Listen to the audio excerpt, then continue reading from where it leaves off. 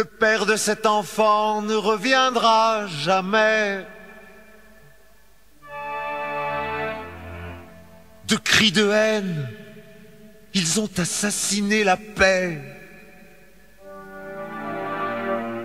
Et ils pleurent que Dieu les a abandonnés. Et ils pleurent que Dieu les a sacrifiés.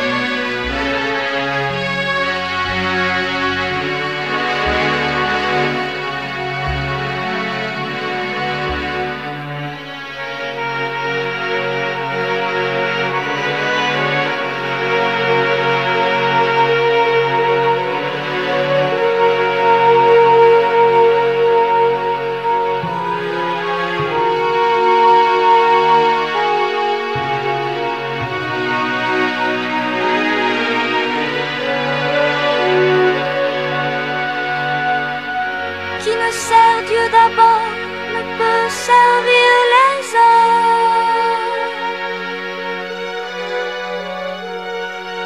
Qui ne donne sa vie, jamais ne la transforme. Comme la goutte d'eau qui à l'eau s'abandonne.